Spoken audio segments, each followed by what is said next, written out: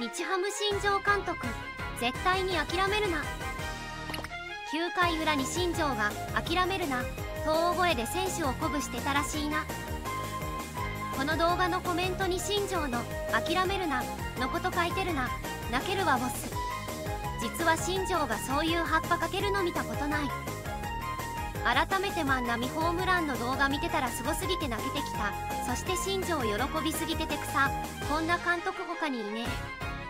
歓声の中ベンチで観客に聞こえるくらいの葉っぱかけてたんか新庄。声でかくね。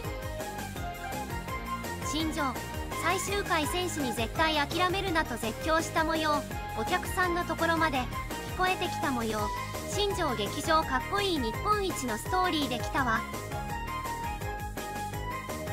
日ハムを中心に動画をまとめていきます。よろしければチャンネル登録高評価よろしくお願いします。